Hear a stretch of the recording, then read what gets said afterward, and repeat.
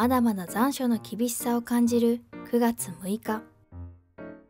メディアネット宇田主催草木染めを大宇田温泉秋野の湯で開催しました。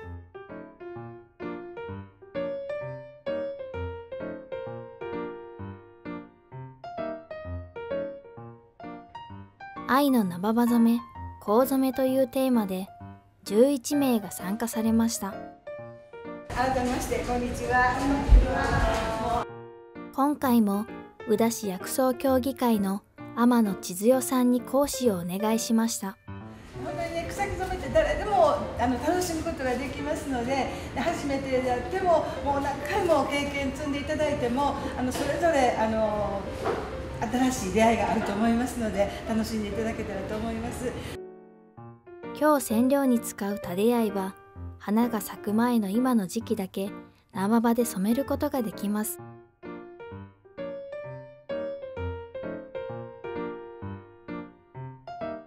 こちらはあまり聞き慣れない香染め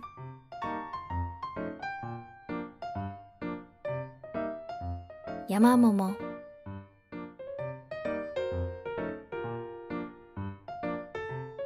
長寿。日系の3つを1つの鍋で煮出します。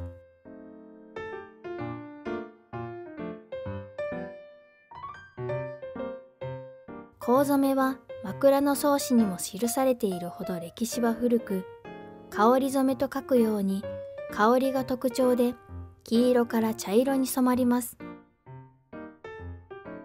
他にも赤やオレンジに染めるインドアカネグレーや紫に染める黒マイヌカが用意されていました。今回はこの4つの染料からおのおの好きなグラデーションを考えます。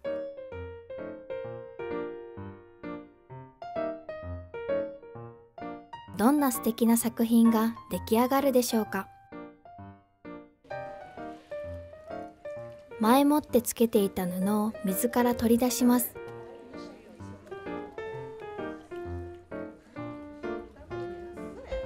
シルク生地のため絞るときはおにぎりを握るように優しく絞ります。次の工程は明板液につけます。ただし藍染めは明板液につけてはいけないため袋に入れ液に触れないようにします。袋に入れる際は色の境目を屏風を折るように細かくきれいに手繰り寄せていくときれいに染まるそうです。明板液には20分間つけます。その待ち時間に食用の柳田でのつぼみを試食しました。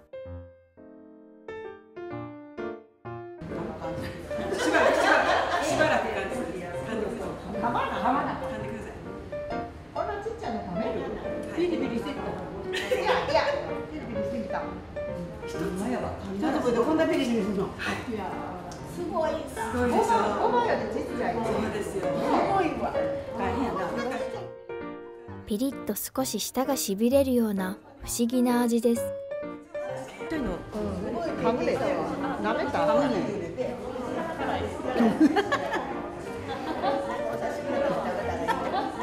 刺激が強かったみたいですね。でも。天野さん特製のクラフトコーラも用意してくれました材料にシナモンクローブカルダモンコリアンダー生姜木肌の実大和立花古代桃が調合されています。体が温まるような美味しいコーラに皆さん興味津々です。体にいいように思う。うん、最近なんか大和立花なんて最近なんかやってます草木染め再開です。藍染めの準備をしていきます。タデアイの生葉をミキサーにかけそれを絞り染料を作ります。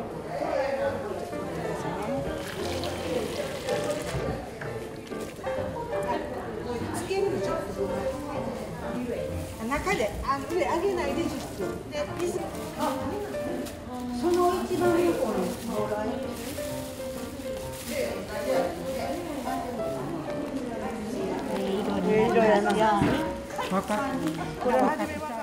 緑色の液で染めているのに藍色に染まるのは不思議ですね。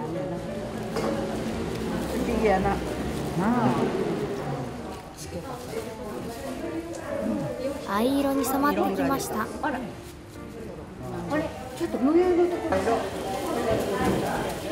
藍染め以外の溶板液につけていた布をしっかりと水洗いします。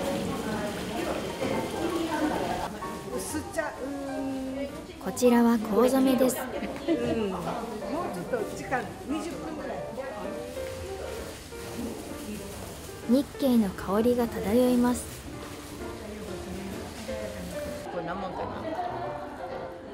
こちらの方はコウ染めの黄色とインドアカネの赤をグラデーションにしています。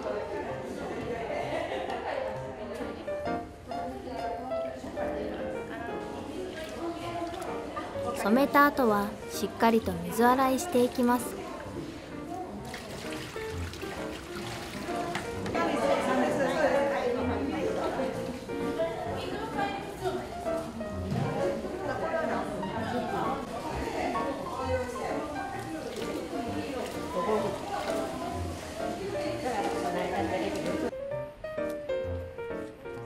最後にしっかりと乾燥させます。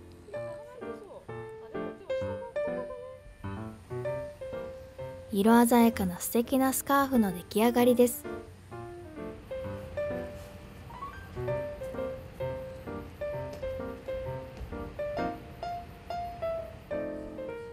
爽やかな青空の下綺麗なスカーフが風でたなびいています。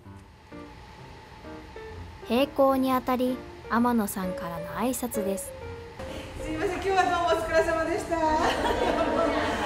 あの草木染めって一期一会の出会いなんであの本当に染料でねあの買ってきた染料を使って染めるのと違って自分でこうやって時間見ながらあの色を見ながら染めていくっていう楽しみを味わっていただけたかなと思います最後に自分たちで染めたスカーフを手に記念撮影ですゼロです。はい、ありがとうございます。また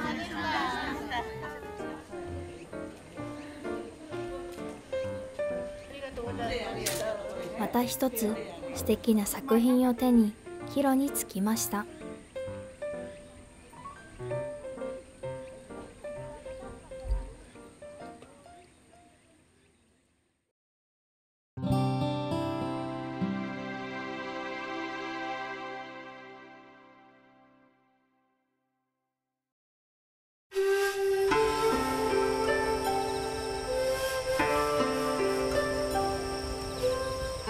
ここは灰原萩原東立にある清流寺です。山門の前の由緒書きには現在法華宗に属しているがかつては東立さんと号するお室仁和寺の末寺であったと記されています。うだるような昼間の暑さから解放された山あいのお寺を三日月が照らしています。9月7日ここ清流寺で風の木と樹作りの行事が行われました。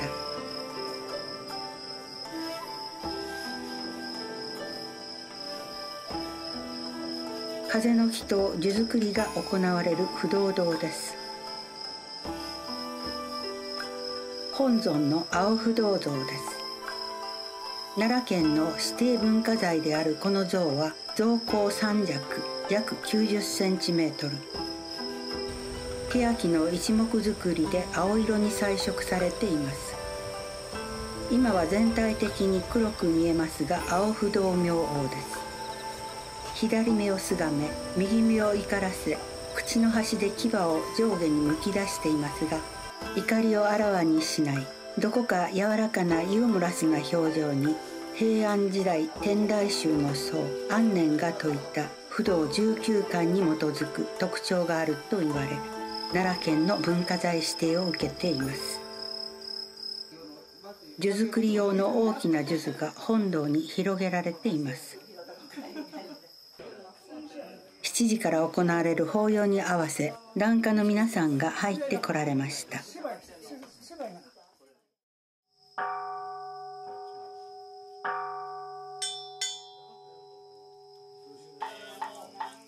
ご住職の度胸に合わせ樹作りが始まりました。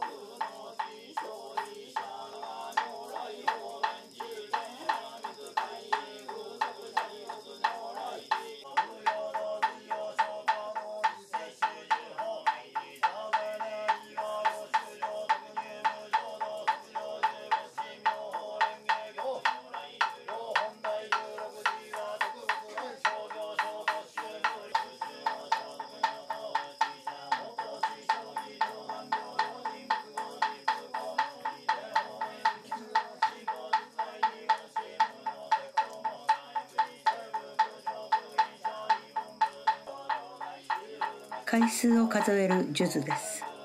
ここでは50回くられるそうです。念仏を唱えながら一心に数珠を食っておられます。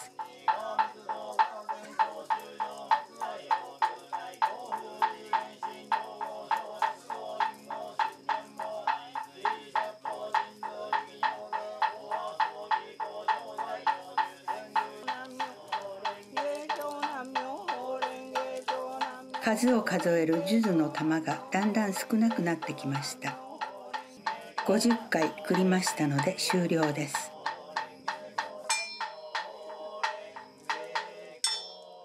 風の祈祷が終わりました。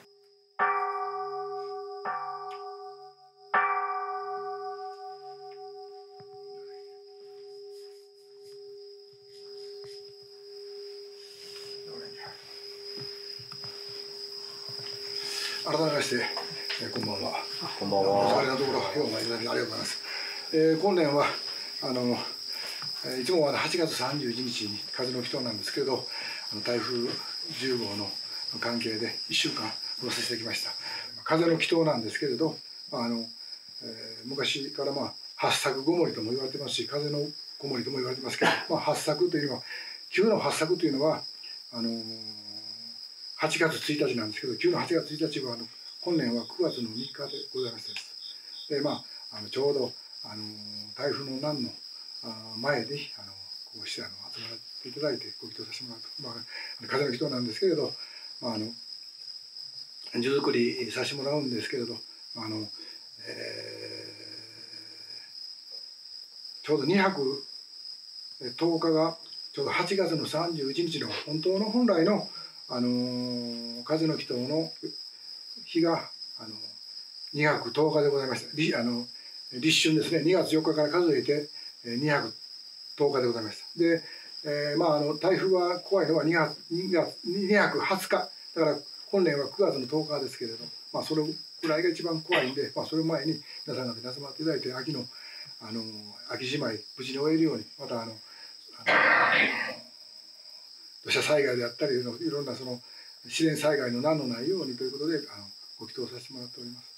えーこれからまたあの今年は、まあ、今年でもこれからあのいつもと違ってあの異常気象じゃなくてこれがごく普通になるかもしれませんけれどあの朝晩はあの朝晩は比較的涼しくなったんですけど日中はあの暑いあの暑かったです今日まあ私昼からあの大阪の方行かし吹田の方行かしてもらったんですけど吹田だとかあとだあのあ河内頭の方行かしてもらったんですけどやっぱかなりやっぱり暑かったです。えー、灰まで帰ってきてほっとしたような今だったら本当にもう気持ちいいですけどこれがまたあの夜がこんなんで昼がまたかなりまた30度超えるとあの、うんまもう我々70超えてる者にとってはやっぱかなりあの体力的にはあの参ってしまいます。でこれから本当に疲れが出るのはあの、えー涼しくなってから夏の疲れが出るのは彼岸過ぎてからぐらいかなと思いますけどどうぞあの直しさんのご自愛いただきましてあのまたあの特にその稲刈りを控えていらっしゃいます方はあのあまり日中無理なさらずであの熱中症にならないように気をつけていただきましてあの直してご自愛いただきますように本日はどうも参拝ありがとうございました。